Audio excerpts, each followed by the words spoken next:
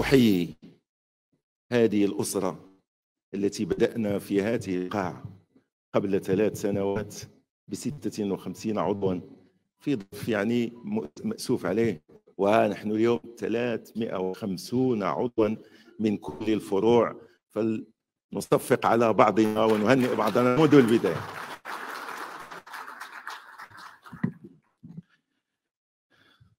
مرحبا بكم في داركم. من الجهات الاثنى عشر.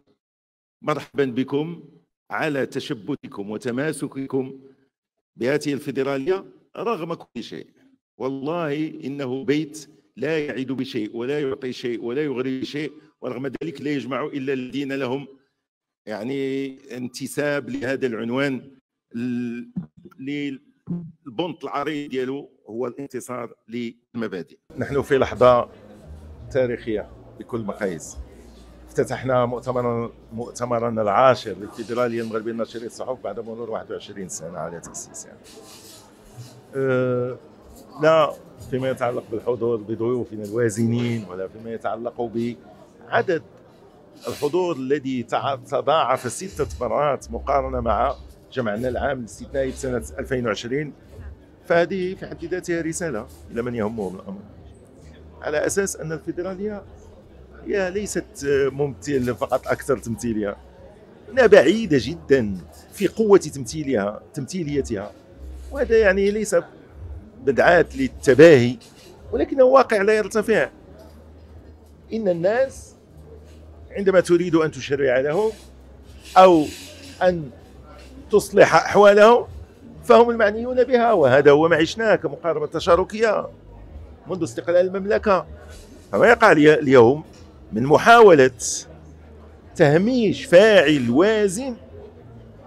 ما هو إلا مضيعة الوقت لأنه لن يجدي في نهاية المطاف. والفيدرالية رقم صعب لا يمكن تجاوزه. اليوم هذا المؤتمر هو مؤتمر انتخابي وأعطينا به درس على أننا نحترم توقيت جديد الهياكل وزمن الزعماء الخالدين وفي الجمعيات والأحزاب غير موجود في الفيدراليه نتمنى أن يقتدي بها هذا الآخرون. وخصوصا المجلس الوطني للصحافه الذي كان من الممكن تجديد هياكله بانتخابات بسيطة كما ما ما كما آه، ما ما نحن مقدمون عليه.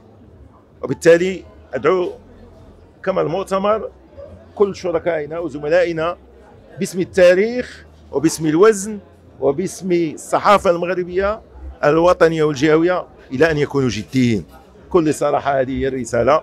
حتى تكون صحافتنا مرفوعة الرأس. وهي كذلك مرفوعة الرأس رغم الأزمات ولن تخفض رأسها حتى وإن آه، يعني ازداقت بها الأزمة لأن هذا الرأس المرفوع هو الذي سيجعل هذه الصحافة في خدمة المجتمع. والله ولي التوفيق. كنت وزيرا كنت آه، كاتب عام في الفيدرالية المغربية لنشر الصحف اشتغلت آه، تحت رئاسة السي خليل الهاشمي رحمة الله عليه وأيضا سي نور الدين مفتاح. آه، هي مناسبة أولا لتهنئة آه، الفيدرالية على تنظيم مؤتمرها في هذه الظرفية التي تتطلع فيها بلادنا إلى تعزيز مسارها الديمقراطي والإعلامي. آه، أيضا هي مناسبة لتهنئة الفيدرالية على المشروع الجهوي الذي انخرطت فيه ووقفنا على يعني مستوى التقدم في إنجازه آه، أعتقد هذه المحطة بالنسبة إلي آه، محطة للتنويه بالمجهود الذي يبذل ولهذا كنت جد سعيد بحضور هذه الجلسة الافتتاحية وتقاسم هذا الشعور وهذه القناعة مع المؤتمر. اولا آه، تنظيم القطاع المستوى المهني هذه اولا مسؤولية المهنيين لأن هذه مهنة حرة مستقلة. دستوريا آه، الدستور قال الدولة تشجع آه، قطاع الصحافه على التنظيم الذاتي بكيفية مستقلة وديمقراطية.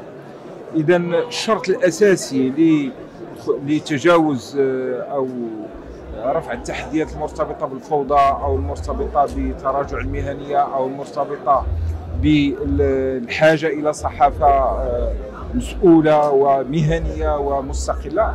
هو التقيد بالشرطين الذين نص عليهم الدستور. وأنا شخصيا في 2011 كنت ضمن وفد الفيدرالية الذي تقدم أمام اللجنة التي أحدثها جلالة الملك محمد السادس حفظه الله المكلفة بالدستور. وتقدمنا بهذه الرؤية ودافعنا عنها. تجاوز الإشكاليات علينا اولا أن نستثمر في التنظيم الذاتي بكيفية مستقلة وديمقراطية لإقرار احترام فعلي لاخلاقيات المهنه كما اعتمدت في إطار المجلس الوطني للصحافة.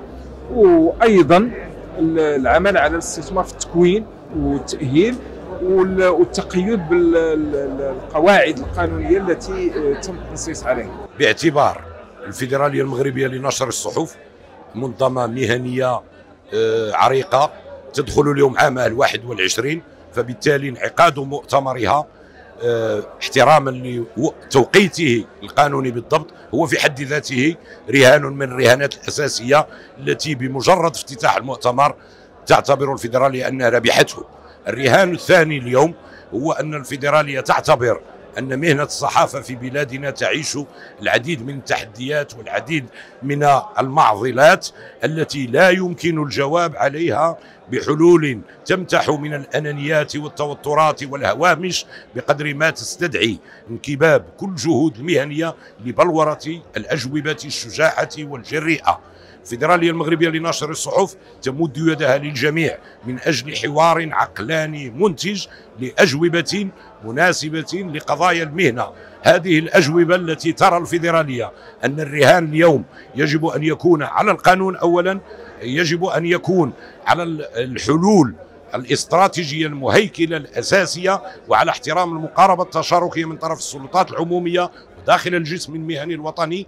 إذا استطعنا جميعا أن نقفز على ذواتنا وأنانياتنا وننكب جميعا على التفكير في مصلحة بلادنا سنستطيع فعلا كما رفع المؤتمر هذا الشعار أن نصل إلى صحافة مرفوعة الرأس وتكون في مستوى التحديات المطروحة على بلادنا اليوم. أيها المؤتمرون الكرام كفروع للفدرالية المغربية لنشر الصحف ننبه الجهات كذلك من بعض المشاريع الرائدة حول معايير الدعم العمومي والتي من شأنها اغتيال ثلثي النسيج الإعلامي الوطني.